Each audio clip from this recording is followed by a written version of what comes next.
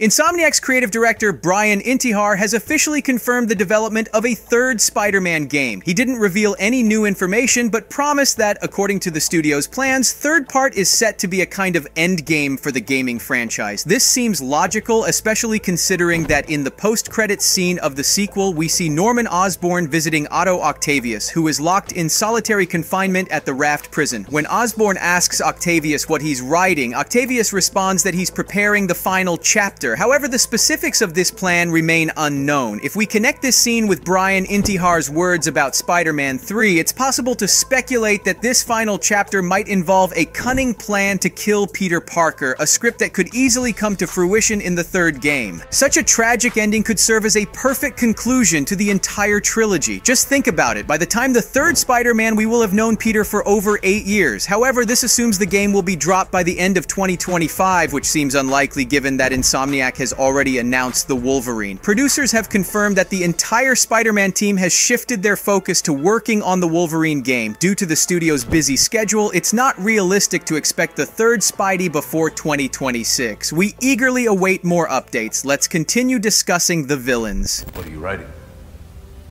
The final chapter.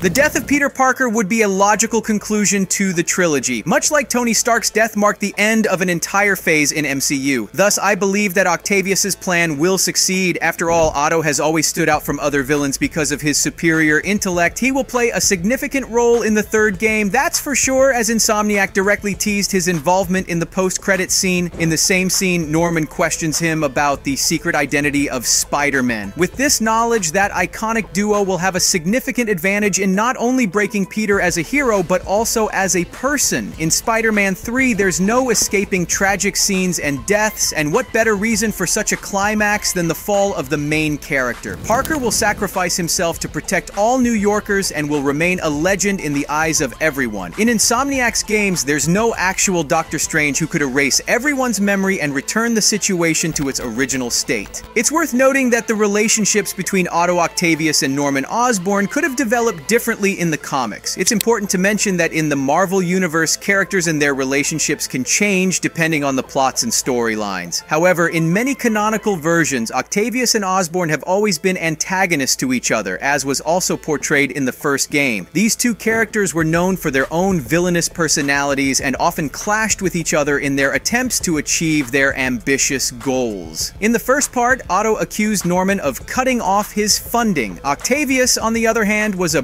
brilliant scientist and engineer who genuinely believed he was changing the world for the better by creating next generation prosthetics. Otto began to experience personal and professional setbacks, leading to his transformation into Dr. Octopus. In the post-credits scene of the sequel, he remarks to Norman that everyone experiences loss, and there's nothing surprising about that. However, Osborn didn't visit him without a purpose. Firstly, he wants to learn the secret identity of Spider-Man, but Otto is not foolish enough to reveal all the secrets without asking for something something in return, he will most likely request Norman's help in securing his release. Secondly, Osborn need more allies to eliminate Parker. Doc Ock and Green Goblin have been allies in different comic books, especially within villainous groups like the Sinister Six, where they joined forces to achieve common goals. A similar storyline is what we might see in the third game. In the first act, Norman will eventually release Otto, and they will begin assembling new members.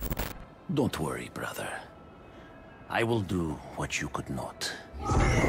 While the futures of Doc Ock and the Green Goblin seemed clear, the fate of Chameleon remains uncertain. He made a cameo appearance in the second game, hiding and observing Spider-Man on a rooftop. In one of the side quests titled Unidentified Targets, you track down Kraven's drones to find a specific individual. Along the way, they discover that the data on this individual varies significantly, ranging from ordinary civilians to people who have been deceased for years to non-existent entities. After analyzing all the data, the Spider-Man realized that Kraven was actually searching for his half-brother, the Chameleon, a longtime adversary of the original Spidey who had escaped from prison after being captured years ago. Meanwhile, Chameleon makes several failed attempts on his brother's life and closely monitors the Spider-Man's progress, determined to accomplish what Kraven could not. He is depicted as an Asian-looking man, and the fact that he is the Chameleon indicates two key things. First, when he is revealed to us, a white glitch appears on his face, suggesting that he is concealing his true identity, Second, he refers to Kraven as his brother. However, I believe that his storyline might serve as the foundation for a potential story DLC because I can't see how he fits into the main plot of the sequel. Nevertheless, Chameleon is sure to make an appearance in the future one way or another.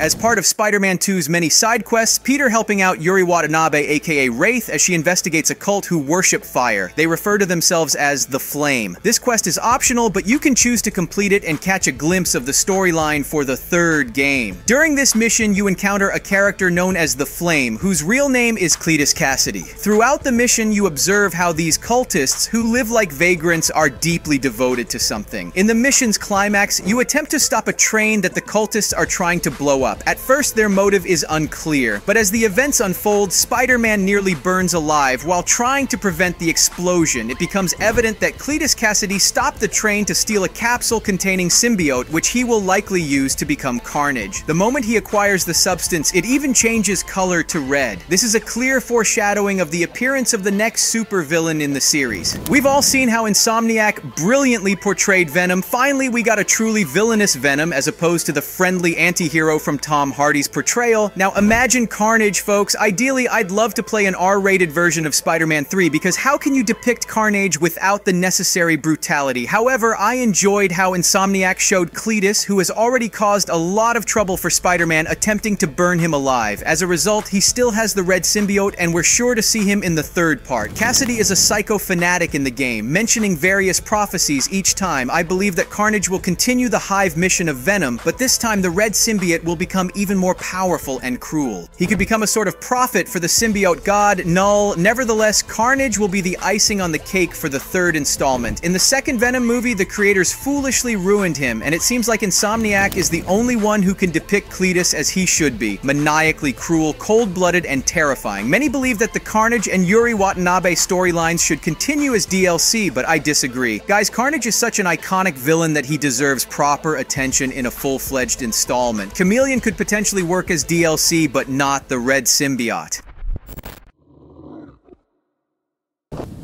Many are concerned that there won't be enough villains left for the third game as the first two games introduced almost all the iconic ones. However, the Marvel Universe has plenty of fantastic antagonists and Knull is a prime candidate for an appearance. He is a massively scaled villain on par with Thanos and he could easily steal the spotlight from the Green Goblin. Anticipating a teaser in a post-credits scene or a cameo from him is definitely worth it. Furthermore, the death of Venom and subsequently Carnage could greatly infuriate Knull who seeks the revival of all all symbiotes on Earth. We've seen his spiral marks in the second game, and I believe Venom has already sent some kind of signal to Knull who should be preparing for an invasion this time. He fits perfectly into the third Spider-Man, but honestly, he's such a colossal villain that he might end up feeling a bit too much in the next game. Nevertheless, the entire symbiote storyline should logically continue along the narrative of King in Black. Oh, but not mine. I differ on a biological level.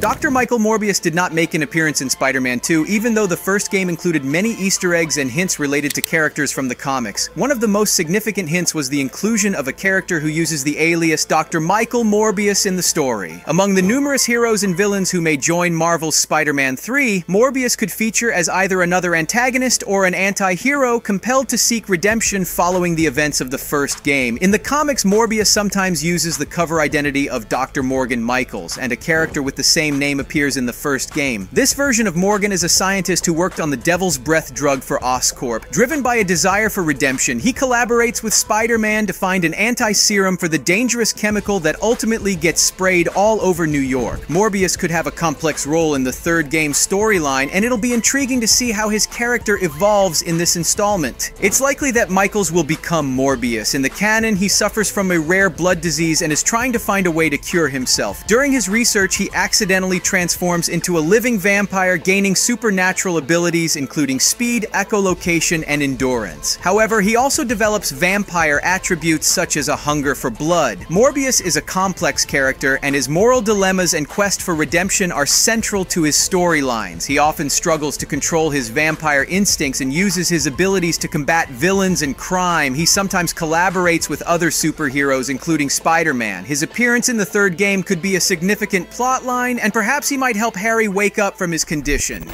Get the G serum ready. ASAP.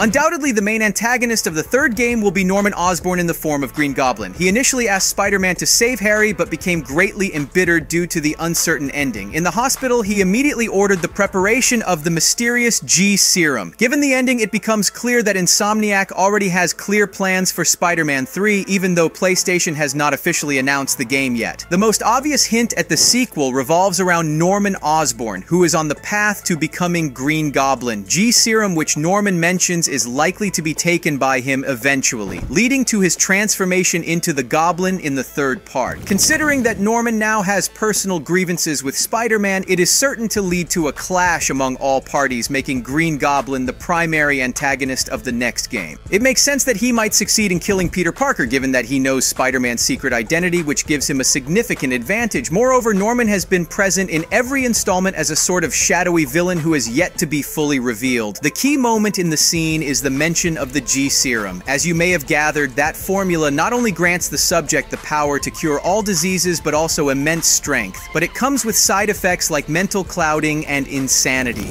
It's logical that Osborn is preparing the serum to save Harry, but the narrative seems to intentionally blur the lines between Norman and Harry when it comes to who will become the Goblin. It's possible that they will introduce a plot element where the G serum is extremely dangerous, requiring further experimentation and research, and Norman won't have the luxury of time. Later, it could be revealed that the test subject must have the same blood, and possibly, Norman as a father decides to test on himself, thus becoming the Green Goblin. This approach could add depth to the storyline, as it would involve Norman directly in the transformation into the Goblin. Fans have eagerly awaited his appearance since the first game, and the developers have saved him for the epic finale of the trilogy. While some may have expected to see the Goblin's design at the end of the second game, it appears that the creators are reserving the big reveal for the third installment. Norman's bitterness towards Peter adds a layer of complexity to their conflict, and as seen in No Way Home, when Willem Dafoe's Goblin, even from another reality, represents pure evil for Spider-Man, it emphasizes the deeply personal nature of their rivalry. Norman Osborn's personal connection to Peter Parker makes their conflict all the more tragic, and it's likely that the third game will be filled with dramatic scenes and plot twists. Nonetheless, the Green Goblin is undoubtedly one of the most iconic villains in Spider-Man's mythology, often considered an arch nemesis. He is one of those villains that authors typically reserve for something significant. He's not just a villain of the week like Electro, for instance. If the Goblin makes an entrance, it promises something large scale. He doesn't rely solely on brute force. Norman always seeks to break Peter as a person, and has been responsible for numerous horrifying events in his life. The strategic intelligence, big influence, and eventual maniacal madness make the Goblin an incredibly compelling villain who is sure to appear in Spider-Man 3.